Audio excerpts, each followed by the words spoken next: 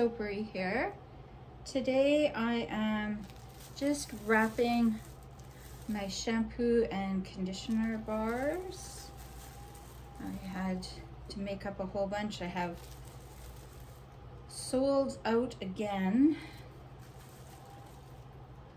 which is a fantastic problem to keep having. Uh, these are the blackberry and sugared violets. I can't remember if I did a video on this, but I whoops, this is not the fragrance or a fragrance that I usually do um, in the shampoo bar. But somewhere along the way, I whoopsed and added the wrong fragrance oil. So we currently are carrying blackberry and sugared violets because why not? Basically, this little guy, I don't know what I want to do with that yet. Okay,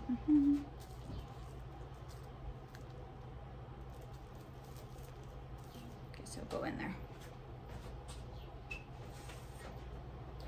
So I'm just loading up my tray or my thingy here with all of my shampoo bars. It's a little bit crooked in there.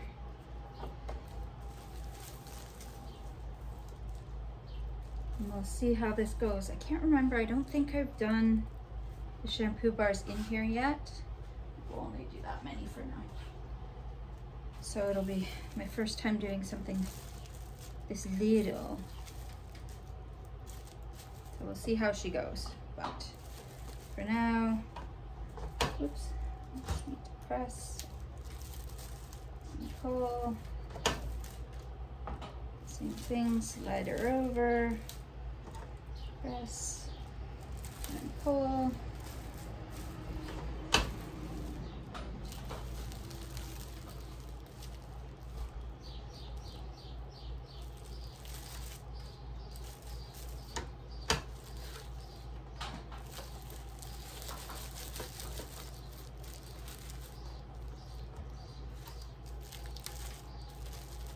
So far so good. It's hard to talk and do this, guys.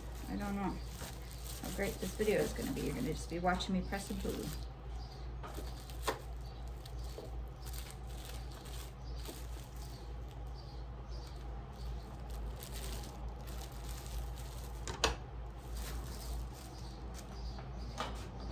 Okay, and then we're gonna squish them up to the top.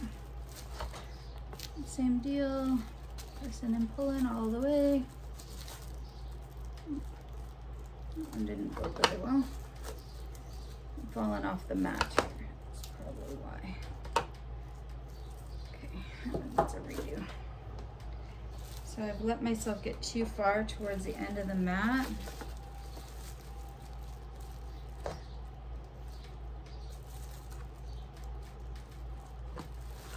And it's causing me grief I'm gonna move these guys.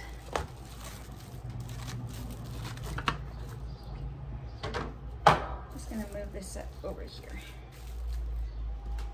It was hanging off the edge there and it wasn't getting the little corner bit.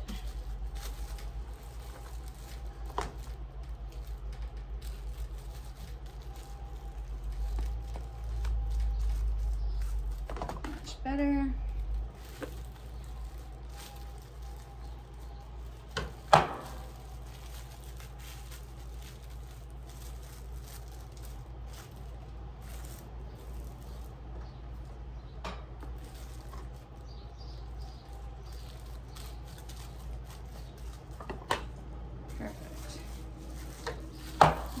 let's just see if I can get lucky and get this edge to catch.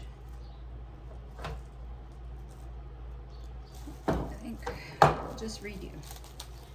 Let it go and redo. Come on out. And I think for now we're just gonna pile these guys to the side. And I'll just go shrink wrapping crazy here and then I'll get the heat gun out later.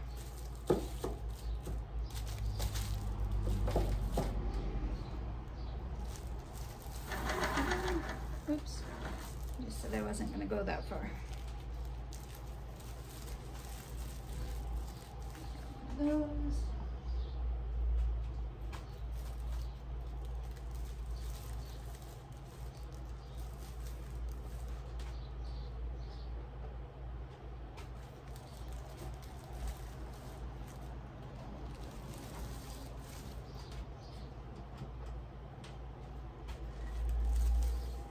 Very focused on this. I'm not doing any talking. Uh, just paying attention to what I'm doing here. Not much to do, say and do. I, uh, when I made this batch, I did a, a big batch, um, like a four times my base recipe to stock up on what was supposed to be the pomegranate marshmallow, but that didn't happen. It ended up being the uh, blackberry. So now I have a whole bunch of blackberry. So yesterday, I went ahead and made went ahead and made a small batch of the pomegranate marshmallow just so I would have some and I ended up getting, of course, an Etsy order for two of them and I didn't have any made, so I had to get that done. And so they're, they're now ready to go. Um, it's a small batch because I'm running out of SLSA, which is one of my ingredients in my shampoo bars, which is frustrating. So now I have to order some more of that. I have enough SLSA left to make three individual bars, which I have to do of rosemary mint because the rosemary mint, I have an order for a bar of that and a conditioner bar for Friday. So I'm going to have to do up a batch of those no matter what. This is being all weird.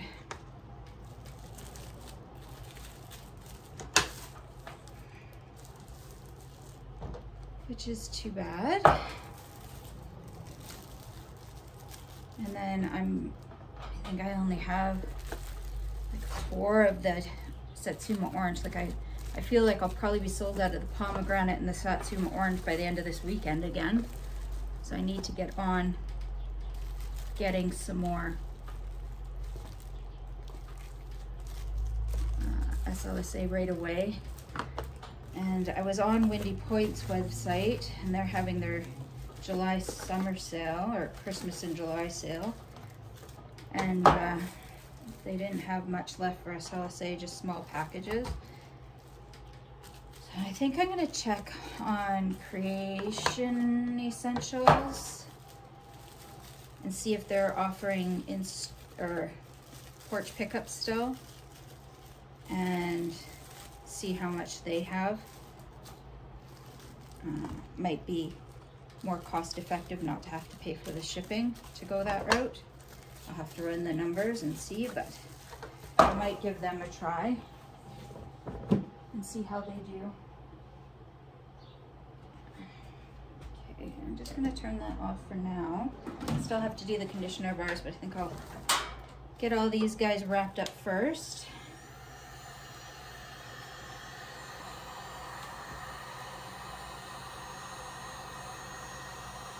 So hot. These little things I find are really tricky with the heat gun because they're so warm. And your fingers get so warm I'm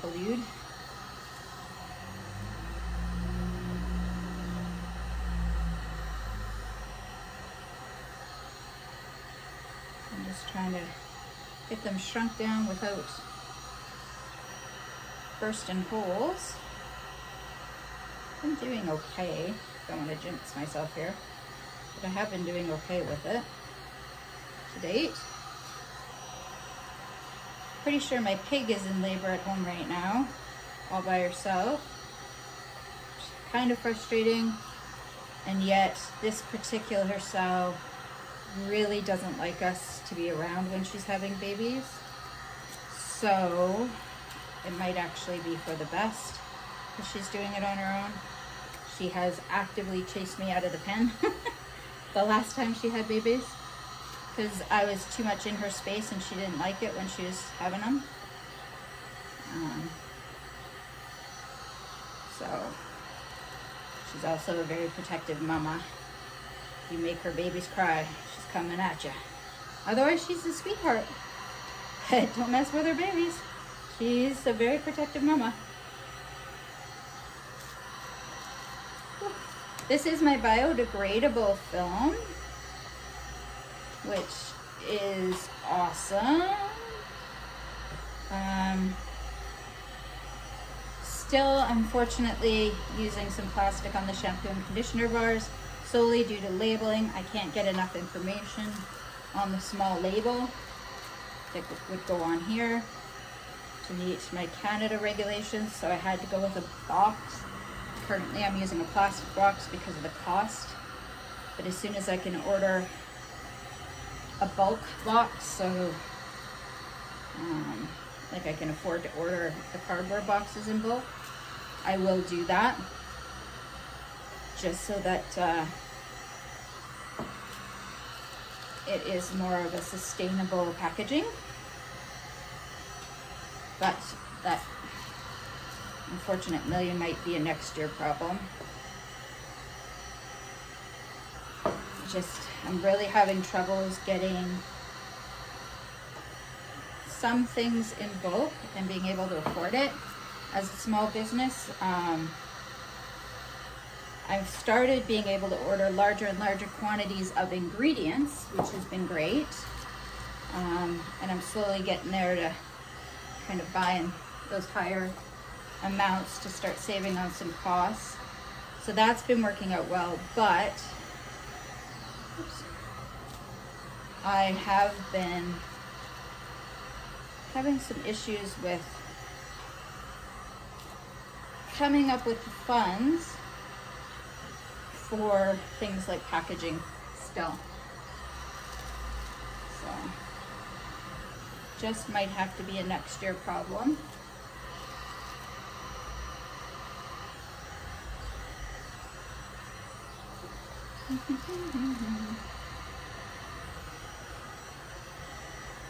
you didn't have to order so much of everything, if I could just order, say, a hundred at a time, and it be a good price, it would be different, but in order to get that good price, you have to order a whole bunch, which causes the cost to go up, and I only have so much income to play with at a time, so we'll see. And I honestly think the next influx of money here this month is going to go towards shelving for the shop here. I really just want it to look a little nicer and brighter and display my products better. My products just, they could look so much better on some really good white shelving. So I want to do that first but we'll see. As I said, I'm already running out of ingredients again. So I might have to put in another big order right away for more ingredients.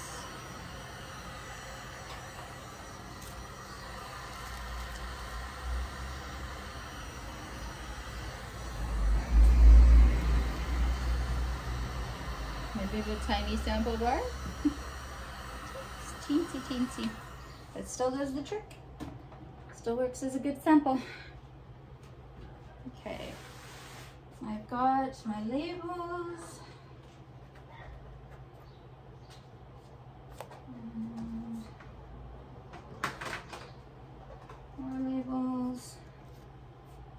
Trees need to go to the wash. And here we go.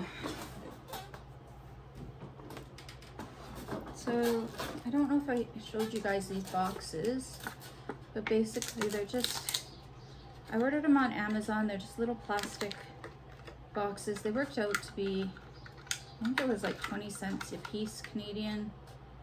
Um, I'm sure I can do better if I were to dig into it, but I'll be perfectly honest, uh, these plastic boxes aren't what I want long term. I want wooden box or cardboard boxes. So the big